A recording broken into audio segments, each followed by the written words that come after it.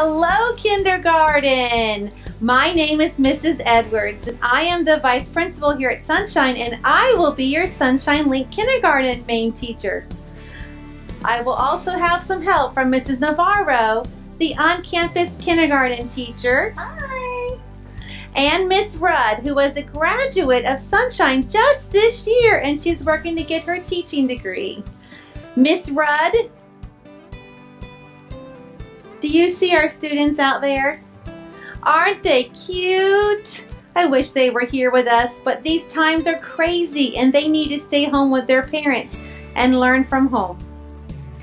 While you are at home, you'll watch some teaching by some awesome Abeka teachers on the Abeka website. Your parents should have your login information for that when they picked up your packets. You'll be watching these videos to learn a lot this year about reading and counting and all the cool things that God has made.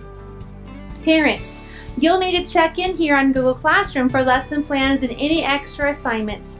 The Abeka website will provide you with the taught lessons and you will need to come by and pick up packets and drop things off occasionally. The next time you come to pick up, I'll try to have a month of lessons ready so you won't have to come as often.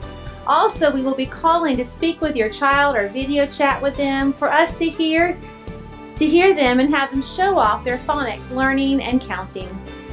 We also will have some videos of us reading books to them. Parents, your child will really learn from you, reading to them aloud as well. Research has shown that this is a valuable part of learning.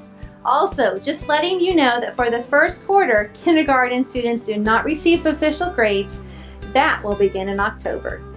So we have so much great stuff planned to learn this year. Kids, this will be different, but it'll be awesome.